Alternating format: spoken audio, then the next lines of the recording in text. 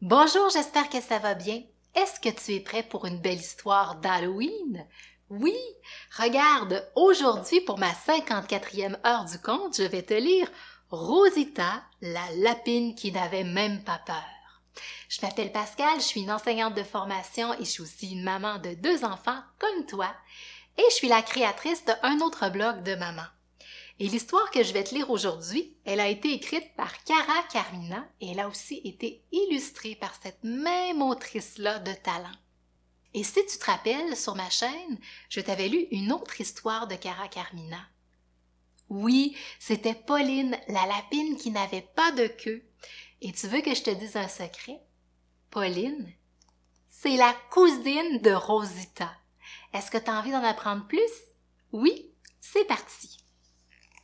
Alors, on est prêt pour notre histoire d'Halloween et je me suis même un petit peu déguisée pour toi. Information importante que tu dois connaître au sujet de Rosita la lapine. Voici l'histoire de Rosita, la cousine mexicaine de Pauline. Mais avant de lire ce livre, il y a certaines choses importantes que tu dois savoir à propos de Rosita. Premièrement, Rosita vit au Mexique avec sa famille. Ah, c'est loin le Mexique du Québec quand même, hein? C'est une experte des maracas. Et elle, son jeu favori, c'est la piñata. Est-ce que tu as déjà joué?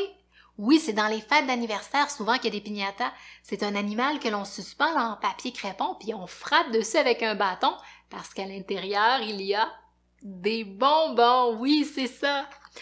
Et ses plats favoris à Pauline sont les tacos aux carottes et le guacamole. Moi aussi j'aime ça, les tacos. Ce qui, lui, plaît le plus au monde, c'est de rendre visite à sa cousine Pauline une fois par année. Ah, c'est vraiment pas beaucoup, mais au moins elles sont chanceuses de se voir hein, parce qu'elles habitent très loin dans deux pays différents. Alors, ici c'est Rosita et ici c'est Pauline. Est-ce que tu la reconnais? Elle est toute petite, Pauline, hein? Et ce qu'il faut aussi savoir de Rosita, regarde, hein, c'est qu'elle a très peur de El Coco. Mais c'est qui ça, El Coco? On va aller voir. Tu ne le sais sûrement pas, mais Rosita et tous les lapins du Mexique, eux, sont au courant. El Coco, c'est un lapin très méchant.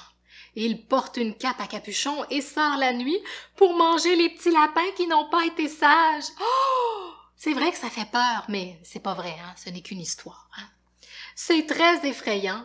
C'est un mot épeurant pour dire que quelque chose fait vraiment peur. C'est vrai qu'il fait vraiment peur, El Coco avec sa cape puis ses yeux méchants. La maman de Rosita est la sœur de la maman de Pauline elle est tombée amoureuse d'un lapin mexicain mariachi. Il chante des boleros, des chansons espagnoles tristes et romantiques, avec une merveilleuse voix. Pour être un bon lapin mariachi, il faut avoir trois choses importantes. Un, un sombrero. Oups, moi j'ai pas de sombrero, j'ai un petit chapeau de sorcière que j'ai failli enlever. Une grosse moustache et un gros bedon, ça prend tout ça pour être mariachi. Et le papa de Rosita les a toutes ces qualités. Une moustache, un sombrero et un bedon. Alors, entre-temps, les deux cousines s'écrivent des lettres et des cartes postales. Ah oui, ça c'est bien des cartes postales parce qu'elles arrivent dans notre boîte aux lettres. Hein? Ça, prend, ça prend plus de temps qu'écrire un texto, mais c'est le fun de recevoir des beaux dessins, puis des lettres écrites par nos amis et nos cousins-cousines. Le moment de la visite annuelle approche enfin. Pauline est très heureuse car cette année, sa cousine aura finalement la chance de rencontrer Théodore, son meilleur ami. En plus, la visite de Rosita tombe pendant l'Halloween, la fête favorite de Pauline. oh, c'est ma fête favorite à moi aussi. Toi aussi? Yay! Rosita, elle, est très heureuse parce que sa visite chez Pauline aura lieu pendant sa fête préférée, El Día de los Muertos. Ce sont des mots espagnols qui se traduisent en français par le jour des morts. ça se ressemble un petit peu, hein. Les morts, des fois, ça fait un petit peu peur, puis à Halloween, on essaie de se faire peur aussi. Puis regarde, Pauline, elle a le portrait de sa mamie et de son papy dans ses mains. Et elle a fait des crânes en sucre, hein. C'est des biscuits spéciaux. Et elle a dressé un bel hôtel, on appelle ça un hôtel, pour mettre des chandelles, des fleurs et les photos de ses grands-parents. La fête de bienvenue effrayante, c'est le titre du chapitre. Finalement, la famille de Rosita arrive chez celle de Pauline. Une grande fête a été organisée pour l'accueillir et tout le quartier est venu. Oh, regarde, il y a des citrouilles, des ballons, une banderole où il est écrit Bienvenue, des banderoles à fanion. Puis Pauline, elle dit quelque chose parce qu'il y a une bulle de dialogue. Regarde, elle s'écrit Bonjour Rosita, viens, je vais te présenter à tout le monde. Et Pauline, elle lui répond Hola Pauline. Hola, ça veut dire bonjour en espagnol. El Coco, crie Pauline. Rosita n'arrive pas à y croire, son pire cauchemar est juste là, à la porte. Oh non, en fait, il ne s'agit pas d'El Coco, mais de Théodore qui est en train d'essayer son costume d'Halloween. Rosita est tellement effrayée qu'elle court à toutes jambes vers la maison pour se réfugier. C'est un mot d'adulte qui veut dire qu'on se met en sécurité. Elle se réfugie sous le lit de Pauline. Tous les lapins savent que c'est le meilleur endroit pour se cacher en cas d'urgence. Peut-être que toi aussi ça t'arrive de te cacher sous ton lit, hein? Elle est effrayée, elle s'est recroquevillée sur elle-même, hein? Rosita le premier Halloween de Rosita. Un autre chapitre. Rosita ne sort de sa cachette qu'une fois que Pauline et Théodore réussissent à la convaincre que le visiteur n'est pas El Coco. Excuse-moi, dit Théodore.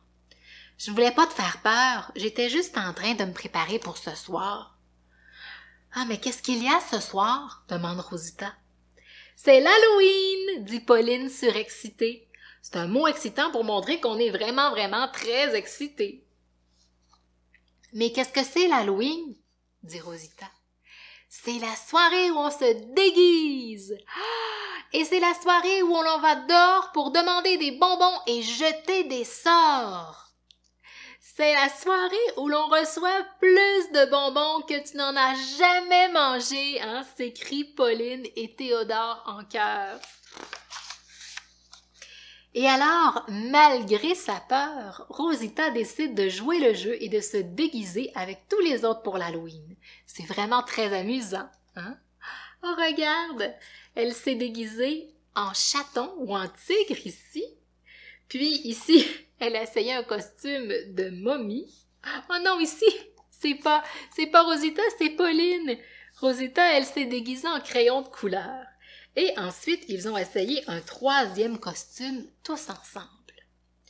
Et regarde leur choix final.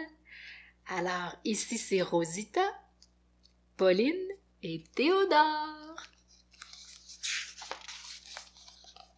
Oh là là, il y a beaucoup d'actions dans le quartier, regarde.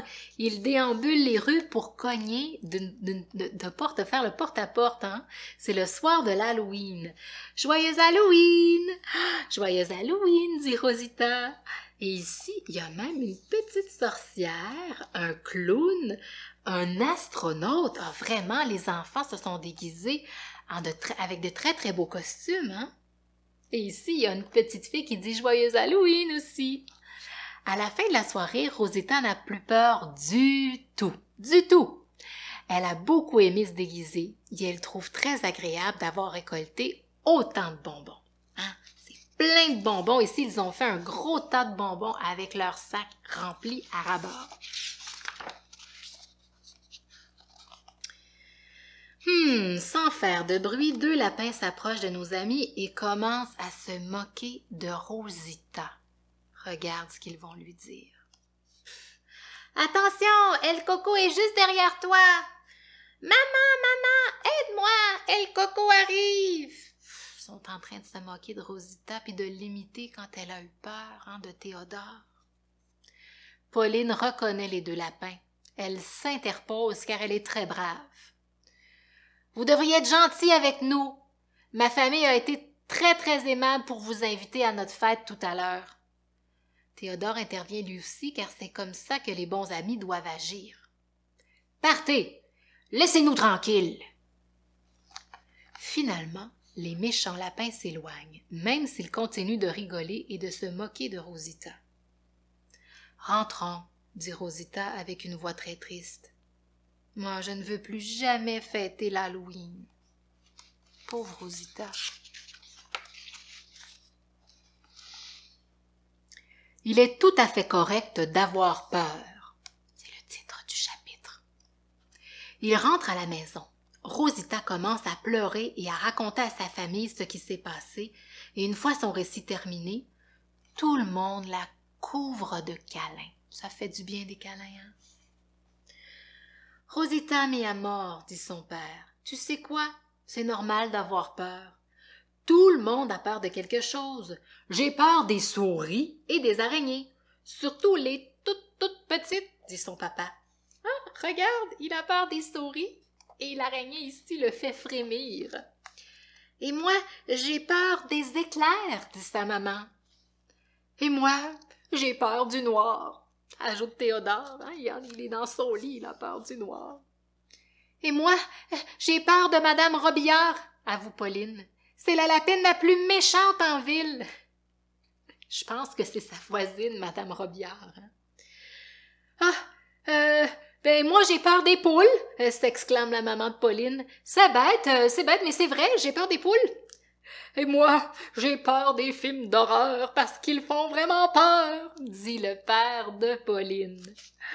Je te parie que toi, oui, oui, toi qui es en train de lire ce livre, tu as peur de quelque chose, toi aussi. El Día de los Muertos. Le lendemain matin, Pauline a droit à un réveil inattendu. Debout, Pauline, lance Rosita, très excitée. C'est le Dia de los Muertos. Nous devons nous préparer pour ce soir. Mais qu'est-ce qu'il y a ce soir? demande Pauline. Ce soir, c'est la fête. Nous allons célébrer grand-papa lapin, grand-maman lapine et tous les autres lapins décédés. Dépêche-toi, nous devons tous tout mettre en, en place. Tous les voisins sont invités. Elle a apporté les deux portraits de ses grands-parents, sa mamie et son papy. Et ils ont fait un chemin de fleurs et on frappe à la porte. Joyeux Dia de los Muertos! Ah! crient les deux lapins en voyant les parents de Pauline déguisés. Regarde, ils ont des masques un peu effrayants, c'est vrai, hein? Hola, bienvenue, dit Rosita d'une voix douce. N'ayez pas peur. Ce sont mes parents déguisés pour le Dia de los Muertos. Entrez, nous avons plein de choses à manger. Ah, elle est très gentille. Merci. Tu es très gentille, dit l'un des lapins effrayés. Nous sommes vraiment désolés de nous être moqués de toi hier pendant l'Halloween. Ah, c'est les lapins méchants. Nous avons décidé de venir à la fête de tes parents, dit l'autre, pour célébrer avec toi ceux qu'on a aimés. C'est vrai que c'est une belle façon hein, de se rappeler des gens qui sont décédés.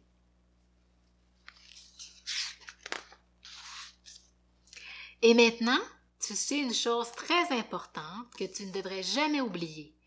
C'est normal d'avoir peur, mais sache aussi qu'on peut avoir moins peur si on est entouré par nos meilleurs amis. Il y a une grosse fête. Ils sont en train de jouer des maracas, puis regarde, il y a les mariachis qui jouent de la musique. Et on a mis des fanions un peu spéciaux, hein, avec des têtes de mort, et le fameux hôtel avec les portraits de tous les gens qu'on aime.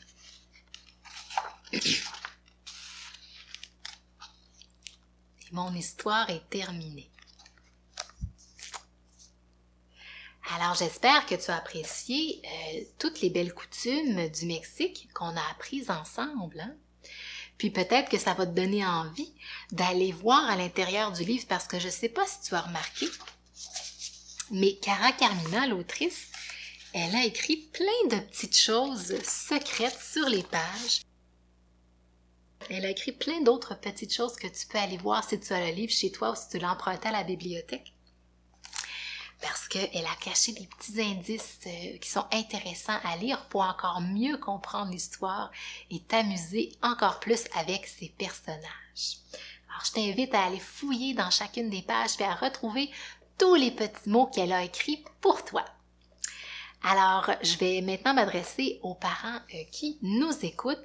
Alors, Rosita la lapine qui n'avait même pas peur, moi, c'est un livre que j'utilise à la maison pour célébrer l'Halloween. À chaque année, je le ressors, je le mets dans leur sélection d'Halloween, dans leur chambre, parce que je fais toujours une petite mise en avant, une rotation de livres. Puis là, on est dans les livres d'Halloween. Puis je leur lis justement euh, près de l'Halloween parce que nous, on, depuis ce temps-là, on a commencé à célébrer El Dia de los Muertos aussi pour rendre hommage euh, aux gens qui sont, euh, qui sont décédés, qui sont disparus. En fait, on peut appeler ça l'hôtel des disparus, mais j'aime mieux dire les gens décédés, c'est un petit peu moins lugubre. Alors, euh, nous, on va mettre des photos, euh, par exemple, de ma grand-mère, de mon grand-père. Ça va me permettre aussi de me rappeler des beaux souvenirs et de communiquer avec, avec eux, finalement, des souvenirs heureux qu'on a, qu'on a eu ensemble, hein, qu'on a partagé, des moments qu'on a partagés. Donc, c'est comme une façon, pour moi, mais ça dépend vraiment de, de vos valeurs, d'apprivoiser cette réalité-là, qui euh, finalement que sont les personnes qui décèdent, hein, qui est un cycle de la vie. Donc, c'est comme ça que je leur explique. Puis, en apprivoisant ce concept-là euh, dès, dès, le plus jeune âge, ben, j'espère que c'est quelque chose qui va leur faire un petit peu moins peur. Mais ça dépend vraiment de euh, vos valeurs. Puis, je veux qu'ils associent ça à quelque chose aussi d'heureux puis aux souvenirs qu'on qu'on a partagés. Alors voilà, si vous avez apprécié, je vous invite à laisser un petit commentaire, peut-être me poser une question, vous abonner à ma chaîne YouTube et je vous dis à la prochaine.